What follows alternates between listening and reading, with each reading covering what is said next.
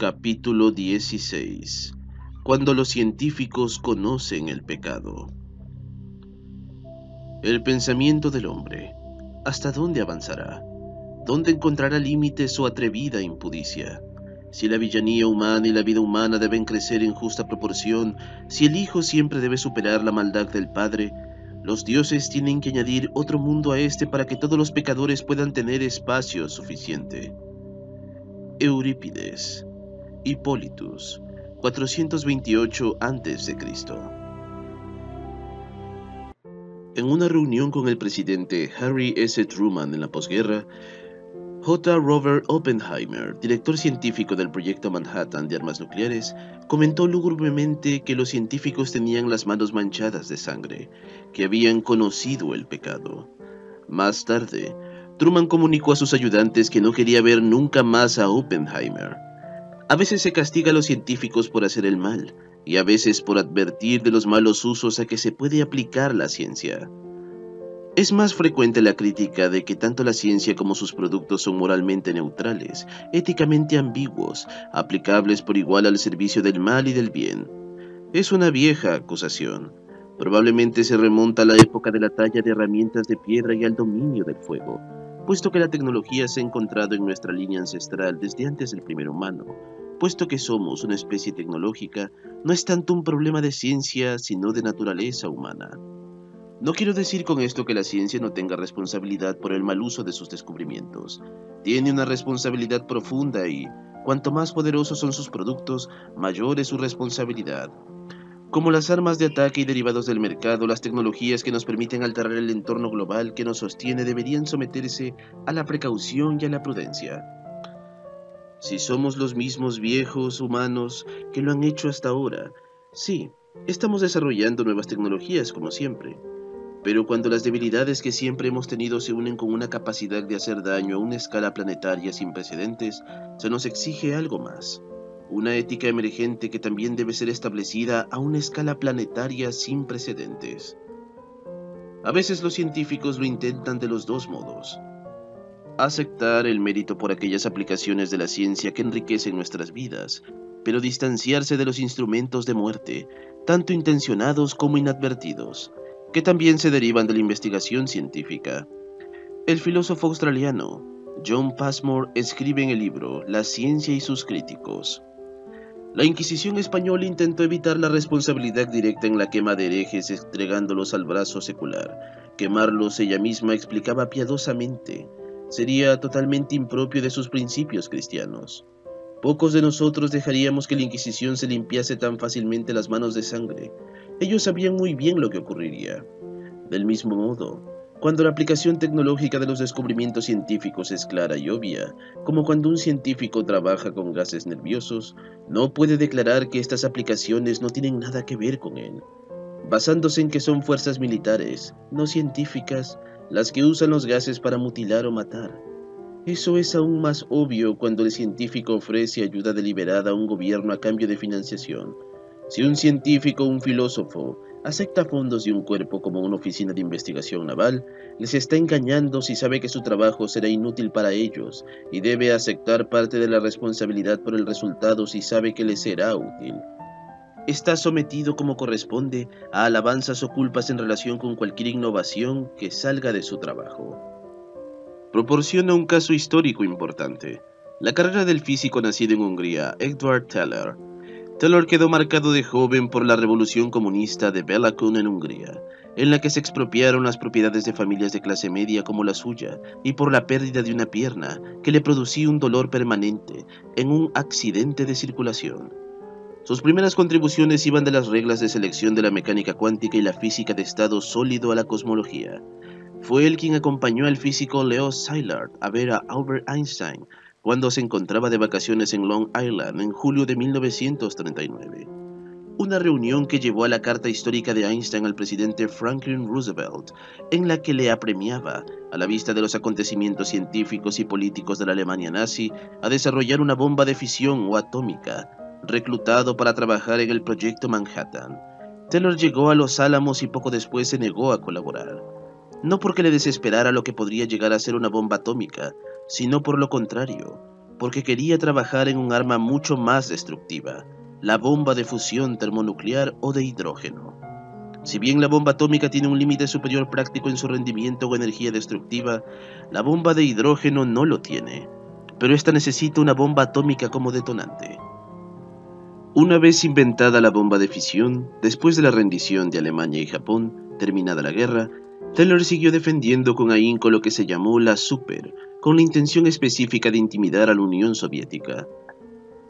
La preocupación por la reconstrucción de la Unión Soviética, endurecida y militarizada bajo Stalin, y la paranoia nacional en Norteamérica llamada macartismo, le allanaron el camino.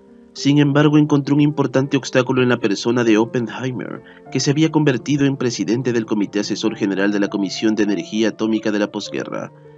Taylor expresó un testimonio crítico en una audiencia del gobierno cuestionando la lealtad de Oppenheimer a Estados Unidos. Se suele creer que la participación de Teller jugó un importante papel en sus repercusiones, aunque el comité de revisión no impugnó exactamente la lealtad de Oppenheimer. Por algún motivo se le negó la acreditación de seguridad y fue apartado de la Comisión de Energía Atómica. Teller pudo emprender el camino hacia la super libre de obstáculos. La técnica de fabricación de un arma nuclear se suele atribuir a Teller y al matemático Stanislas Ulam. Hans Bethe el físico premio Nobel que dirigía la división técnica del proyecto Manhattan y que tuvo un papel destacado en el desarrollo de las bombas atómica y de hidrógeno, atestigua que la sugerencia original de Teller era errónea y que fue necesario el trabajo de muchas personas para hacer realidad el arma termonuclear. Con las contribuciones técnicas fundamentales de un joven físico llamado Richard Garwin, en 1952 se hizo explotar el primer mecanismo estadounidense termonuclear, como era muy poco manejable para llevarlo en un misil o bombardero, se hizo explotar en el mismo lugar donde se había montado. La primera bomba de hidrógeno verdadera fue una invención soviética que se hizo explotar al año siguiente. Se ha planteado el debate de si la Unión Soviética habría desarrollado un arma termonuclear si no lo hubiera hecho antes los Estados Unidos, y si realmente era necesaria el arma termonuclear estadounidense para impedir el uso soviético de la bomba de hidrógeno, dado el sustancial arsenal de armas de fisión que ya poseía entonces Estados Unidos. Las pruebas actuales indican que la Unión Soviética, incluso antes de hacer explotar su primera bomba de fisión, tenía un diseño realizable de arma termonuclear. Era el siguiente paso lógico. Pero el conocimiento, por espionaje, de que los americanos estaban trabajando en ella aceleró la búsqueda soviética de armas de fusión. Desde mi punto de vista, las consecuencias de una guerra nuclear global se hicieron mucho más peligrosas con la invención de la bomba de hidrógeno, porque las explosiones aéreas de las armas termonucleares son mucho más capaces de quemar ciudades y generar grandes cantidades de humo, enfriando y oscureciendo la Tierra, y de inducir un invierno nuclear a escala global. Este es quizá el debate científico más controvertido en el que me he visto envuelto, desde 1983 a 1990 aproximadamente. El debate tenía un enfoque político en su mayor parte. Las implicaciones estratégicas del invierno nuclear eran inquietantes para los que se aferraban a una política de venganza masiva para impedir un ataque nuclear, o para los que deseaban conservar la opción de un primer ataque masivo.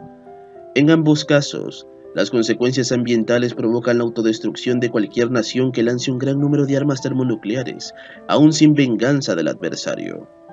De pronto, un segmento importante de la política estratégica durante décadas y la razón para acumular decenas de miles de armas nucleares se hizo mucho menos creíble.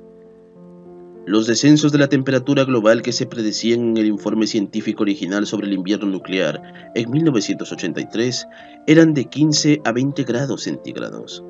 Las estimaciones actuales son de 10 a 15 grados centígrados. Los dos valores son correctos si se consideran las irreducibles interdimensiones de los cálculos. Ambos descensos de temperatura son mucho mayores que la diferencia entre las temperaturas globales actuales y las de la última era glacial. Un equipo internacional de 200 científicos ha estimado las consecuencias a largo plazo de la guerra termonuclear global y ha llegado a la conclusión de que, con un invierno nuclear, la civilización global y la mayor parte de la gente de la Tierra incluyendo los que están alejados de la zona objetivo de la latitud media norte, correría grandes riesgos, principalmente por hambre. Si alguna vez llegara a producirse una guerra nuclear a gran escala, con las ciudades como objetivo, el esfuerzo de Edward Teller y sus colegas en Estados Unidos y el equipo ruso correspondiente dirigido a Andrei Sakharov podría ser responsable de que se cerrara el telón del futuro humano. La bomba de hidrógeno es, con diferencia, el arma más horrible inventada jamás. Cuando se descubrió el invierno nuclear en 1983, Teller se apresuró a argumentar, 1. que la física estaba equivocada, y 2. que el descubrimiento se había hecho años antes bajo su tutela en el Laboratorio Nacional Lawrence Livermore. En realidad no hay ninguna prueba de este descubrimiento previo, y hay una cantidad considerable de pruebas de que los encargados en todas las naciones de informar a los líderes nacionales de los efectos de las armas nucleares pasaron casi siempre por alto el invierno nuclear. Pero, si lo que decía Teller era verdad, fue una falta de conciencia flagrante por su parte no haber revelado el supuesto descubrimiento a las partes afectadas, los ciudadanos y jefes de la nación y del mundo, como en la película de Stanley Kubrick, Doctor Strangelove, Teléfono rojo, volamos hacia Moscú. Reservar la información del arma definitiva, de modo que nadie conozca su existencia ni de lo que puede hacer, es completamente absurdo. Me parece imposible que un ser humano normal colabore sin reparos en un invento así, aun dejando de lado el invierno nuclear. Las tensiones conscientes o inconscientes entre los que se atribuyen el mérito de la invención deben ser considerables. Sea cual fuere su contribución real, se ha descrito a Edward Teller como el padre de la bomba de hidrógeno. La revista Light, publicada en 1954, un artículo escrito con admiración que describía su determinación casi fanática de construir la bomba de hidrógeno. Creo que gran parte de su carrera posterior puede entenderse como un intento de justificar lo que engendró.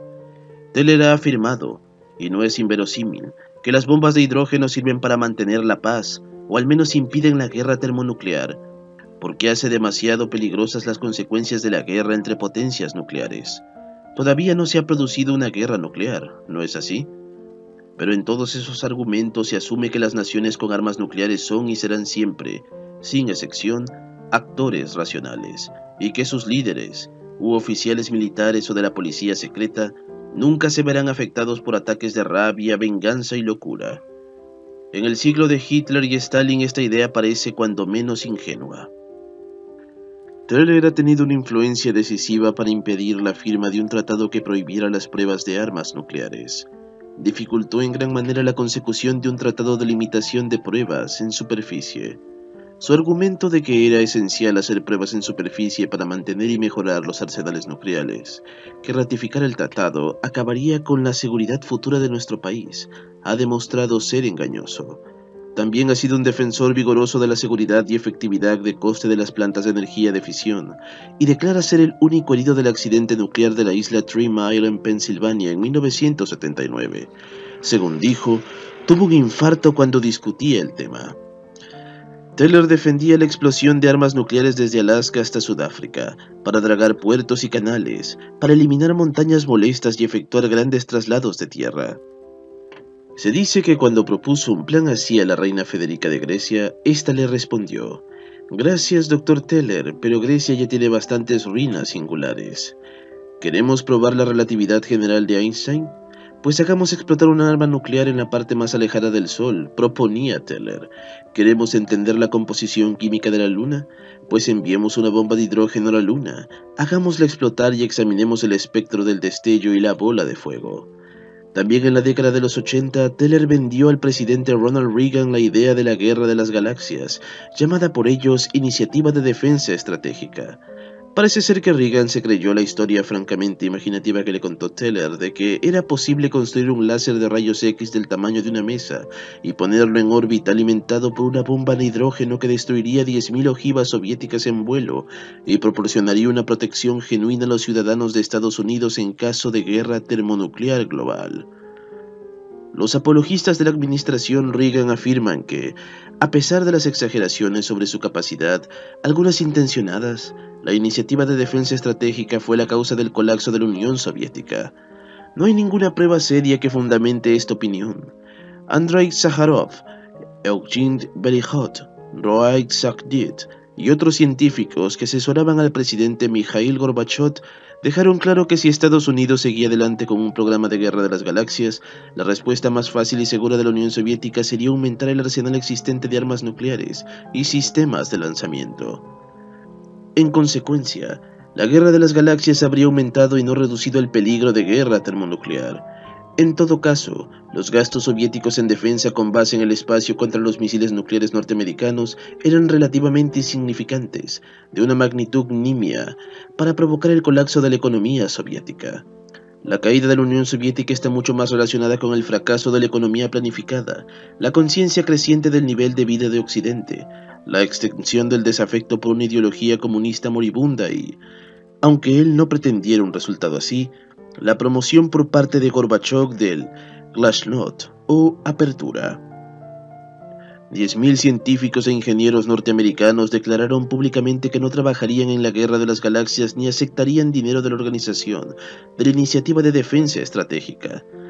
Eso da un ejemplo de la extensión y valentía de la negativa de cooperación de los científicos a un coste personal concebible con un gobierno democrático que, al menos temporalmente, se había desviado de su camino. Taylor también había defendido el desarrollo de ojivas nucleares penetrantes para poder alcanzar y eliminar centros de comandos y refugios bajo tierra de los líderes y sus familias de una nación adversaria, y de ojivas nucleares de 0,1 kilotones que saturarían a un país enemigo y destruirían su infraestructura sin un solo herido. Se alertaría a los civiles por adelantado, la guerra nuclear sería humana. En el momento de escribir estas líneas, Edward Teller, todavía vigoroso y con unos poderes intelectuales considerables a sus 80 años, ha montado una campaña con sus contrafiguras en el establishment de armas nucleares de la antigua Unión Soviética para desarrollar y hacer explotar nuevas generaciones de armas nucleares de largo alcance en el espacio, a fin de destruir y desviar asteroides que podrían encontrarse en trayectorias de colisión con la Tierra. Me preocupa que la experimentación prematura con las órbitas de asteroides cercanos puede implicar peligros extremos para nuestra especie. El Dr. Teller y yo nos hemos reunido en privado, hemos debatido en reuniones científicas, en los medios de comunicación nacionales y en una sesión a puerta cerrada en el Congreso. Hemos tenido importantes desacuerdos, especialmente en lo relativo a la guerra de las galaxias, el invierno nuclear y la defensa de los asteroides. Quizá todo ello sea la causa irremediable de mi opinión sobre él. Aunque ha sido siempre un ferviente anticomunista y tecnófilo, cuando repaso su vida me parece ver algo más en su intento desesperado de justificar la bomba de hidrógeno diciendo que sus efectos no eran tan malos como lo que se podría pensar. Se puede usar para defender al mundo de otras bombas de hidrógeno, para la ciencia, para la ingeniería civil, para proteger a la población de Estados Unidos contra las armas termonucleares de un enemigo, para librar guerras humanas, para salvar al planeta de riesgos aleatorios del espacio. De algún modo, quiere creer que la especie humana reconocerá las armas termonucleares y a él como una salvación y no como su destrucción. Cuando la investigación científica proporciona unos poderes formidables, ciertamente temibles a naciones y líderes políticos falibles, aparecen muchos peligros.